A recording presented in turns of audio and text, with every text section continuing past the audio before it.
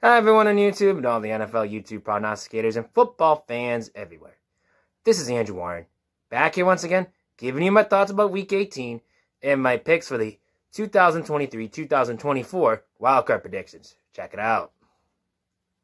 Well, for um, the start off for the week, let me say my congratulations to the Michigan Wolverines for winning the college football um, national championship this past week. Um, I think it was um, Tuesday or went think it was like yesterday or something like that, or Monday or something like that.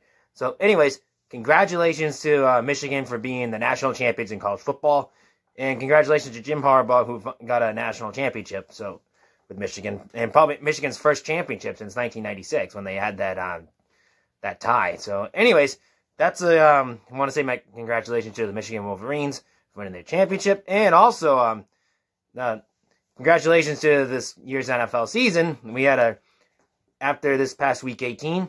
This is the first time since 2017, I think it was, since uh, since we had no ties in the NFL. So we came through the season with no ties, the first time since 2017.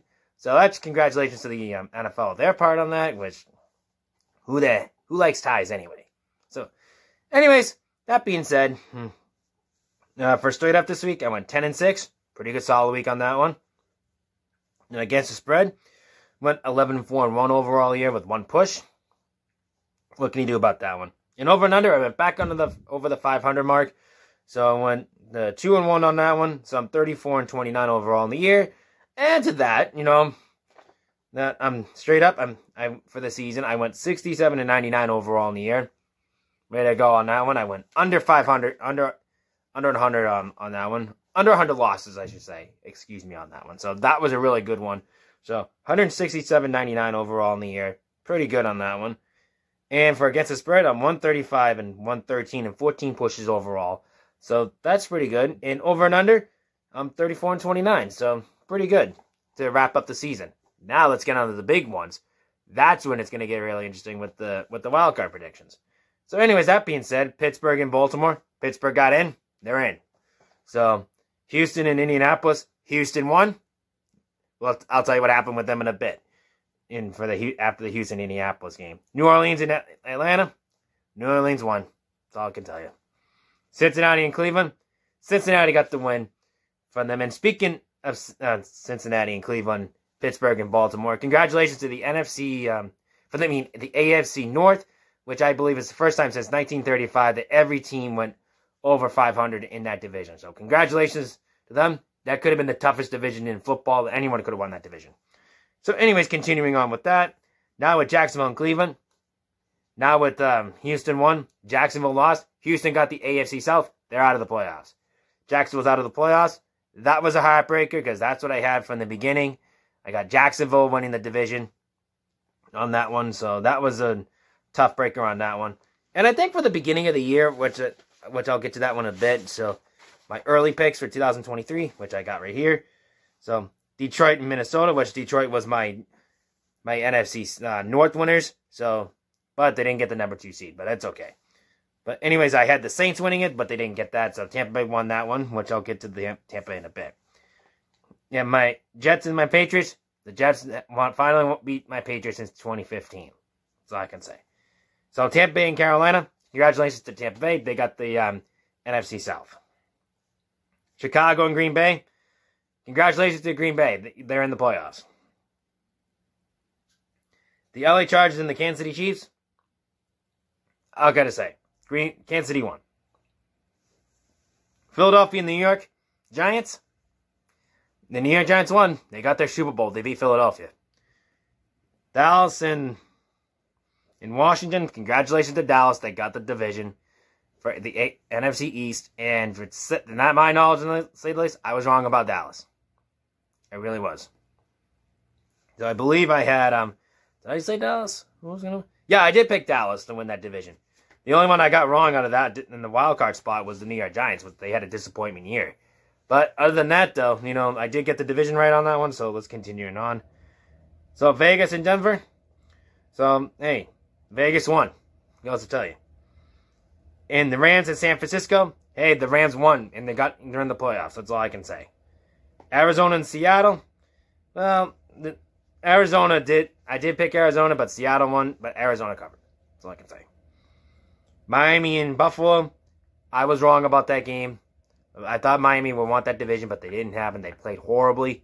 Buffalo came back and won that division. Probably one of the greatest comeback in division history, I could say the least. Hey, I was wrong. What can I tell you? Anyways, continuing on with that, how am I picking? Now we got the wild card playoffs: Cleveland and Houston, Kansas City and Miami, Buffalo and Pittsburgh, Dallas and Green Bay, Rams and Detroit, Philadelphia and Tampa Bay. Well, to say the least on my knowledge on that one, who I pick in the playoffs, I thought I was way off on the Carolina Panthers, really bad on that one. So that throw that one out the window. I was wrong about the New York Giants too, which I had them respectively for the Panthers seven and the Giants six. But I did get the Rams in there, and but they're a wild card spot. But San Francisco got it. I was right. I was wrong about the Saints. They're out of the playoffs, but Tampa Bay got it in. And I was the only one I was right in that division. Two of them was Detroit and Dallas. So out of that one. Out of the AFC picture though, I did for the AFC South. I did pick Jacksonville to win. I was wrong on that one. Hey, what can you say on that one? I had Tennessee. I was wrong on that on the wild card spot, but hey, I was wrong on that one too. I was wrong about the Bengals, but hey, they they were over 500. But I had Baltimore number six, but Baltimore got the division. But Cleveland got in out of respectfully. But the the NFC West, I did pick the Chiefs in number one, which that was right, and I had the LA Charge again in the wild card, but that didn't happen. That ended up being, I believe it was. Hold on. It was Miami. So okay. So I was it was Miami, and I had the um, Buffalo Bills in the AFC East, which that one turned out in the end. What can you say the least on that one? So, anyways, I was wrong on right on some game, some predictions. I was wrong on some on some of these. So, what can you do? I was two and two on both of both the AFC and in my um, NFC early predictions in their division. So, hey, what can I say on that one? Anyways, that being said, that's my thoughts about Week 18. Let's get on to my um, my wild card predictions. Okay, we're going to kick things off with the Cleveland and Houston. I believe that's the Saturday game. So we have two Saturday games, I believe it is, if I'm wrong.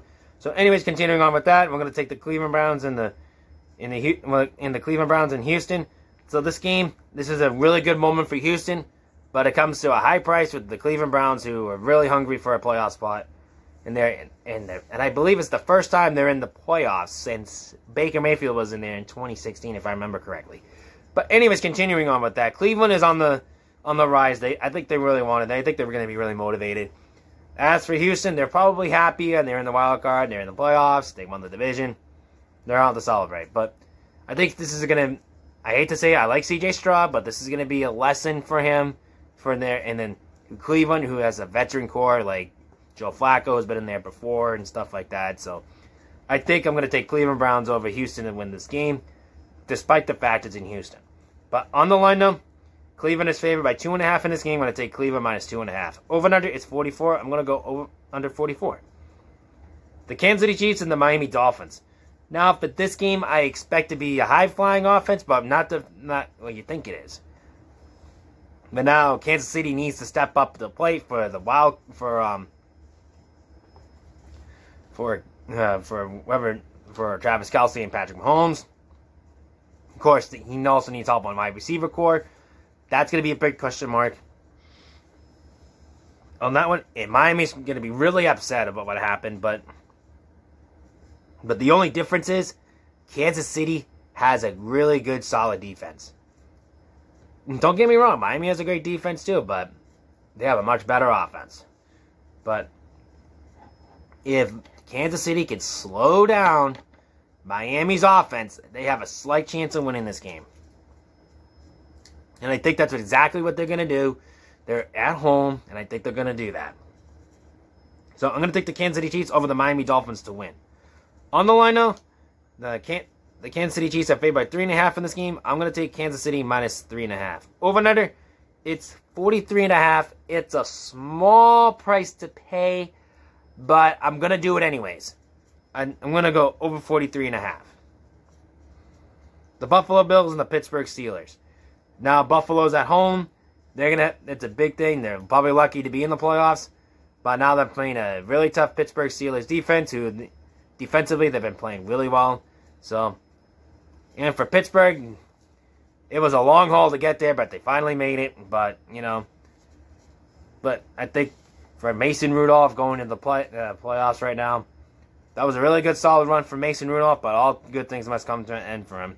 So I'm going to take the Buffalo Bills over the Pittsburgh Steelers to win in that game. But on the line, though, Buffalo is favored by 10 in this game. That's way too many points because of Pittsburgh's defense on this game. I think it's going to be too close of a game. I really think it's going to be a really good one. So I'm going to take Pittsburgh over, I'm going to, plus 10. Over and under, it's 38 and a half. I'm going to go over 38 and a half. I really think this is going to be going up in the 20s on this one. So I expect to be really a good game. I, I If I had to pick an overtime game, I think this game is it. And if you ask me if that's the case, this would be a great, great moment for Buffalo, for Josh Allen, for finally getting a playoff win in overtime. And to be in the playoffs, too. So, that's something key knowledge on that one. Anyways, continuing on with that. With the Dallas Cowboys and the Green Bay Packers. Now, for this game, Dallas is like too strong on strong on both sides of the ball. I think this is a really, really good, really matchup for Green Bay, too. If they ask me, who has the much better defense? Dallas. Who has a great, better offense? Green Bay. So this is going to go down to, but, like, come to battle. But, hey, for, um, for Jordan Love, like um, CJ Stroud, this is going to be his first playoff experience. It's going to be a small price to pay on this one for Green Bay, but it's going to be a learning experience. So, anyways, that being said, I think I'm going to take um, the Dallas Cowboys over the Green Bay Packers to win. On the line, though, Dallas is favored by 7.5 in this game. I'm going to take Dallas minus 7.5. Over and under, it's 49. I'm going to expect some fireworks on this one. I'm going to pick over 49.5. In fact, if I'm going to have to pick a game that can be over 30, this game's it. I think both teams can get over 30, like at least both respectively, like Dallas get 30 points and get Green Bay get 30 points. I expect that game to be that. The LA Rams and the Detroit Lions. Now, for this game, this is a homecoming for Matthew Stafford, so he's got to be motivated. Detroit's going to be mo- motivated. This is the first playoff home. That'll be their first playoff home game, I believe it's since the 90s. So this is really good for Detroit on this one, too. So, anyways, to say the least on this one, as I expect, defensively, they've not been impressive lately. But Detroit's defense is getting there down the road. So, if they can have this offense have a much better defense next year, Expect that team to go far. Not this, not this time around. Continuing on with that, I'm gonna take the the upset here. I'm gonna take the LA Rams over the Detroit Lions to win this game in Detroit. On the line, the, the Detroit Lions are favored by three in this game.